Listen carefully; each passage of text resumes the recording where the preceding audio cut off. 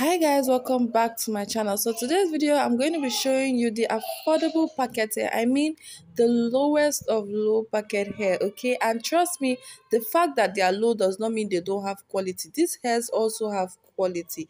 These are the human hair blend packet hair okay? You can start up your own business using these packet hairs. All you need to do is to know how to style them okay? Also ventilate out of them if you do not like the closure that it comes with okay? So don't look down on this set of packet hairs. And i've showed you the products that you can use on your packet hair to give it a very beautiful lush style okay?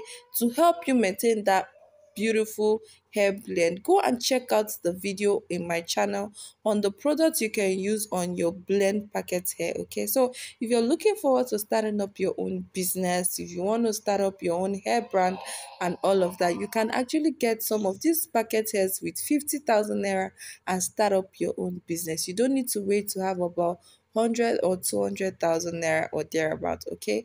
You can start small and make it big in the hair industry okay?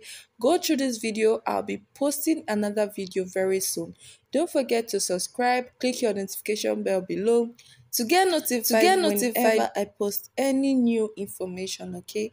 I love you guys. I'll be seeing you on my next video. Bye